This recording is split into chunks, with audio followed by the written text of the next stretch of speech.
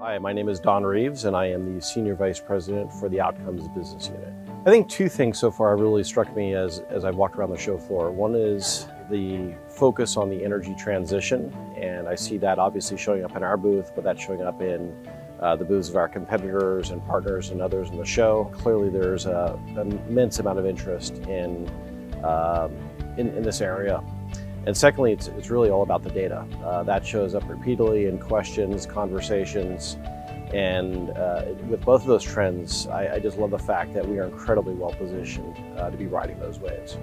So with respect to data, I, I, think there's a few few key themes going on. So first off, uh, you know, distributed intelligence has become, I, would say now, kind of prime time and core. We, we had a customer event where we had uh, customers talking about their experience with distributed intelligence, and I contrast that with where we were even a year ago, where it was really only one customer able to talk about it, and it was even then more forward-looking. And now we can actually look at it more uh, in hindsight and say these are the results we delivered. So that's incredible.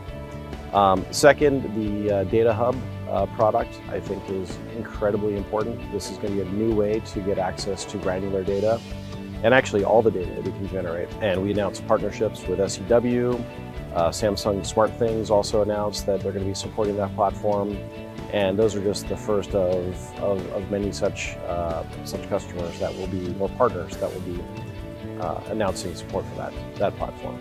As I think about our theme of more intelligence, more possibilities, that is really just core and, and central to what Outcomes is all about, right? It's, it's taking our, our strong base of metrology and connectivity to those meters and the data we pull in through the head-end systems and then turning that data into actionable insights. And we've seen it before with respect to AMI, and now we're expanding that into DERMS, and electric vehicles, into grid uh, visibility.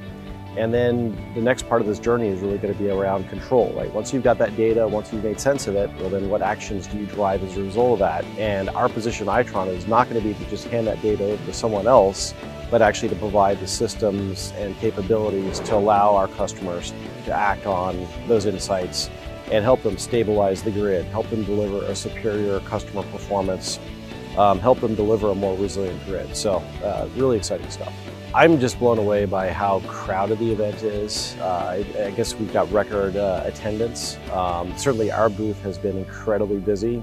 And I think that's a testament to all the hard work that's gone into things from a product perspective and you know the work that's done being done between the three PBUs, right? This this booth is really a manifestation of that vision but then translated by our awesome marketing team and what they've been able to pull together here. I mean, I, I, again, I look at our booth and you look at the journey as one walks through it, all the, the breadth of products, all the capabilities that are there. I think this really has captured the interest of our customers. I'm now seeing customers coming by, spending time here, talking with us, and these are longtime customers that have probably only thought of us to date as a meter to cash company, and now they're realizing that Itron can actually do a whole lot more for them.